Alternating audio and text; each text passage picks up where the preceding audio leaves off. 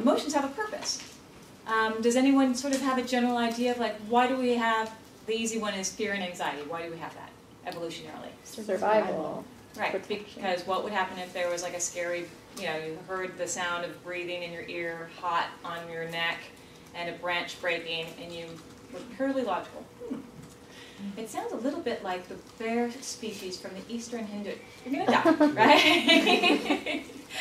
um, so you need it to be fast, you need it to be quick, you need it to be really tightly coupled with behavioral activation. And that's what we have as a residue from that. Problem is we then evolved language.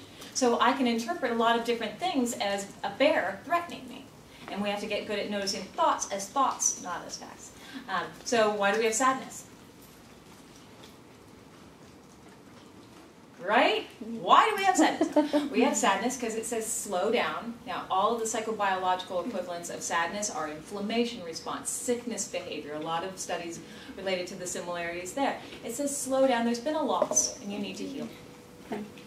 Yes. Could you also think of it as um, uh, it signals others that you maybe need a little bit of help or social? Yes, exactly. So generally, thank you, great question. Generally, I have a little, if you go to my website, there's a blog on this, and there's a little chart with all of them in there. Um, there's three purposes of emotions, to communicate an action tendency, to communicate to others in the group, and to send a message to ourselves if there's a need. Mm. The need for myself is I need to heal, the, need, the message to others is I need compassion and caring. So think about the secondary emotion thing.